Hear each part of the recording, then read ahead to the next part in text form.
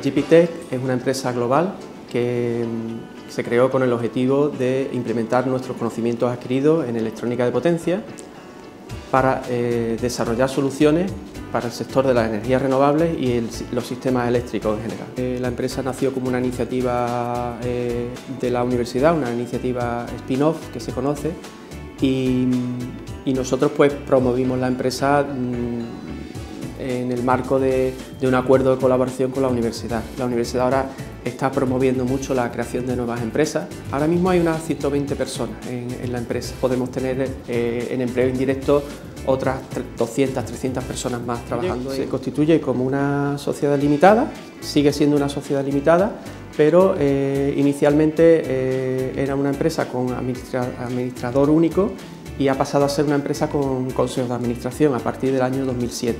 Eh, lo que ofrecíamos era servicios de ingeniería, después pasamos a ofrecer eh, productos y servicios y luego ya finalmente ahora estamos en una fase donde ya eh, intentamos ofrecer soluciones completas.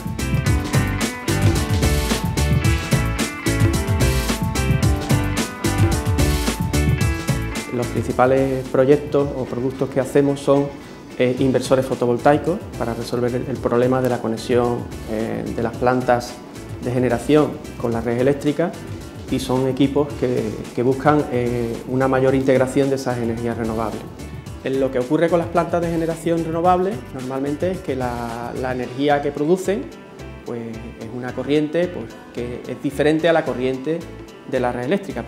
Y eso hacerlo además con unos requisitos que la propia red eléctrica eh, impone, debido a que el conectar eh, plantas de generación renovable pueden producir impactos en la red eléctrica. El viento pues no sopla siempre de forma constante, el sol tampoco brilla siempre y tampoco brilla constantemente porque hay nubes, entonces eso hace que la, potencia fluctúe eh, rápidamente.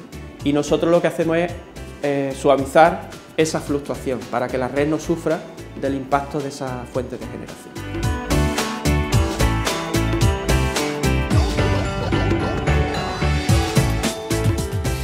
Eh, para intentar ver eh, si nuestro proyecto era viable, inicialmente nos presentamos a un programa, mm, el 50K. En ese concurso desarrollamos nuestro primer plan de negocio. Eh, para financiarnos inicialmente lo que hicimos fue aportación de capital de los socios. También buscamos préstamos participativos, préstamos del programa Campus y también conseguimos un préstamo del programa Neotec del CDT.